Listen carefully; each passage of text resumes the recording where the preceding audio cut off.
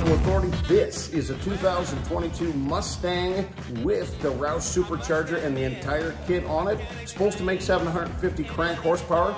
We're going to test that. We're going to improve that, and by the time the customer leaves here, he's going to have a big smile.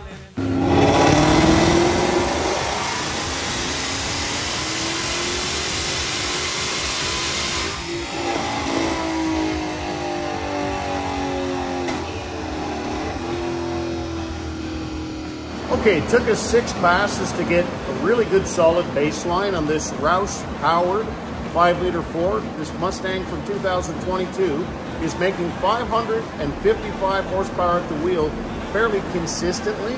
Today is as good as conditions as you can get for making horsepower. It's cool, the humidity's low, and this should have made 652 horsepower according to the math at roughly 15% drivetrain loss. It's at 555, so it falls 100 horsepower short of what it should make.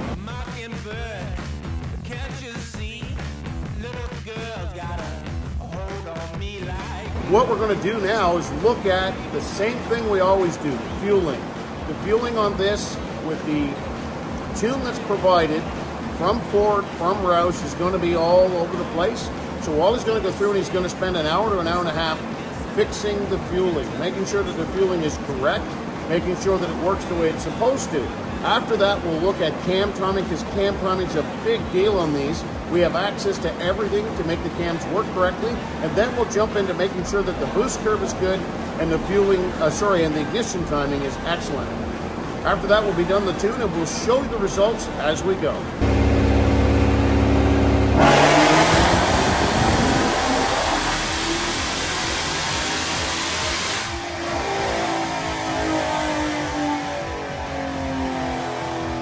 Yeah. Yeah.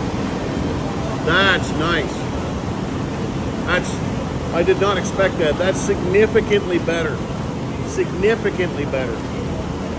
To do the same pass, 6.2, 5.1, so he's taking 1.1 seconds off. his first. On his first stab at it. Holy smokes, that's really good. And look at that curve. I did not expect that.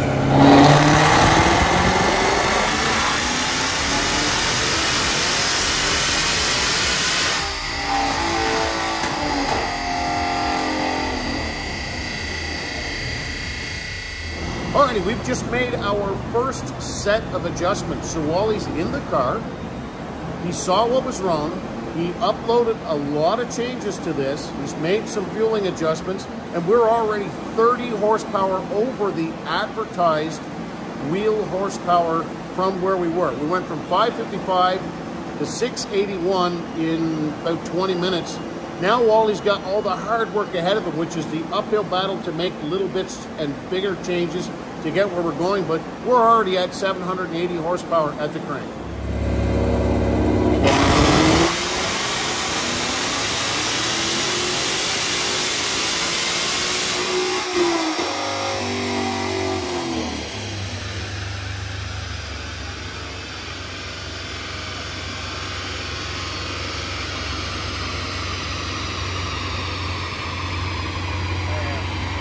Time. It's something that a lot of people won't talk about when they're talking about dyno tuning, but I want you to take a look over here in just a minute. We're making almost 700 horsepower at the wheels after lots of adjusting and lots of time here in the dyno.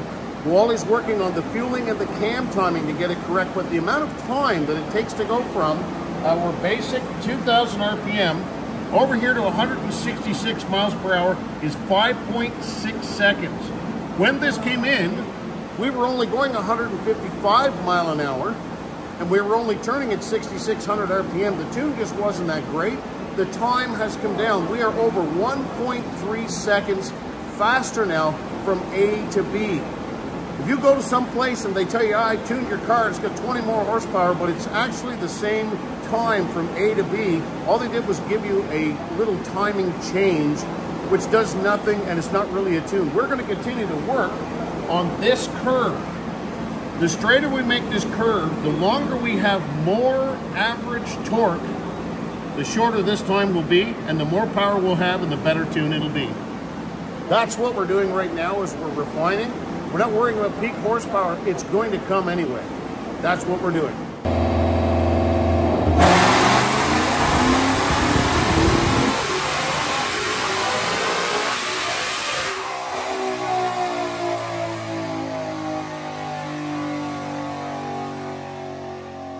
Alrighty, we've just finished up the tune.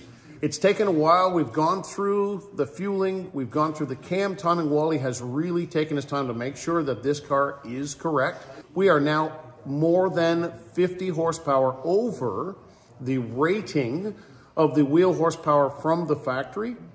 And we are now up from 555 to over 704 horsepower at the wheels. Not the same car anymore. It's going to work very well. It's not on the bitter edge. It's just tuned correctly, running correctly at this point.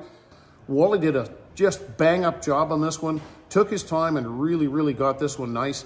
Over 700 horsepower at the wheels. That's a nice result. All right, this is the Roush Performance Kit that gets bolted onto the 5-liter Mustang. The 5-liter Mustang engine is already extremely stout. It already has 12 and a half to 1 compression. So when you put a couple of pounds of boost onto an engine that already has 12 and a half to 1 compression, four overhead variable cams, you get a really stout package. There's literally nothing else on the market today that has that kind of performance that you can just bolt on a supercharger and go. This is a TVS um, 2650. So they Roush and Ford rebadged this, but it's a TVS blower, really, really good unit. This works extremely well, pushes the air in, pushes it around, pushes it down into the intake. Again, makes pressure on the intake. This should make about 11 pounds of boost, which should bring us up when we're all said and done to over 750 horsepower at the crank.